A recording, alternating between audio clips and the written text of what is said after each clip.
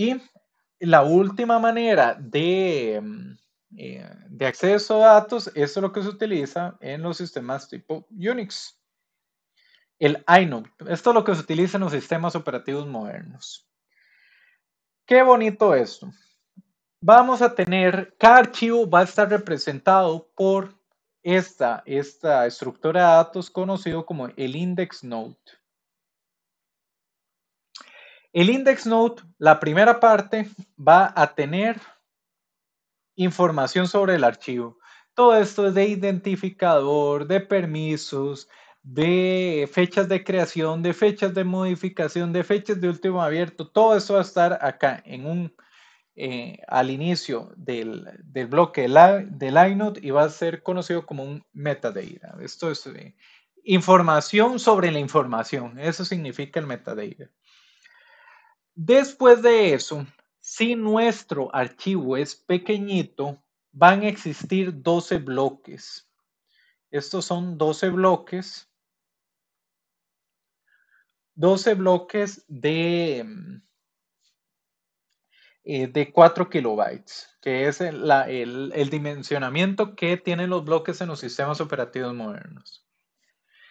Si el archivo es pequeñito, todo el archivo cabe en el inode, cabe en la información sobre el archivo. ¿Por qué? Porque 12 bloques es equivalente a 48 kilobytes. Y si el archivo cabe, el, archivo es de 48 kilobytes o menos, cabe directamente acá.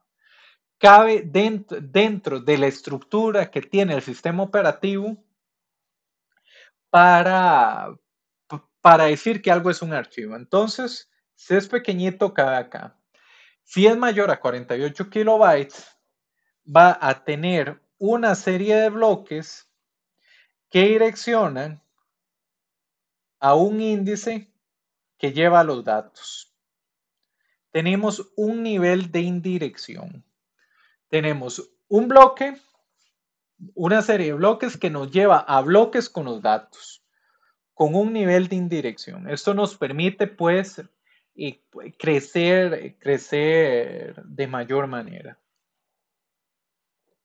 Si aún así no nos alcanza, podemos llegar a bloques doblemente indireccionados, que es un bloque que apunta a un índice que apunta a otro índice que apunta a los datos. Típicamente, esto es lo que nosotros necesitamos en nuestro sistema. Resulta que con, eh, con 2 grados de indireccionamiento podemos llegar a, 2 a la 31, que son 2 gigas de bytes. Típicamente, nosotros no hacemos, la, la mayor cantidad de los archivos llegan hasta acá, no necesitan de más modos de indireccionamiento cuesta tener un archivo, a menos de que sea ya una película, que ahora sí, una película es un solo archivo que pesa 10 gigas, 5 gigas, que pese más que eso. Pero si llega a pesar más que eso, con 2 gigas acá, con los bloques de 3 eh, triplemente indireccionados, básicamente podemos alcanzar cualquier archivo. Estos son bloques que tienen un puntero, un índice, que tienen un puntero otro índice, que tienen un puntero otro índice que nos lleva al dato. Aquí ya estamos hablando de terabytes, un archivo de terabytes que podemos, eh, que podemos direccionar. Entonces, la estructura del inode tiene la ventaja de que con una sola misma estructura de datos nos podemos comer todo. Nos comemos desde los archivitos pequeños que caben dentro de la misma estructura, nos caben ahí, hasta los archivos que llegan a requerir eh, terabytes que se utilizan con los tres niveles de indireccionamiento.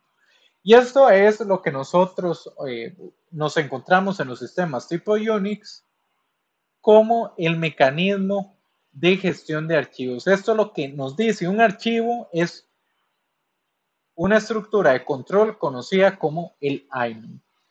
Eso es pues la manera en que funciona. Y siendo ese el caso, con esto dejamos la clase de hoy.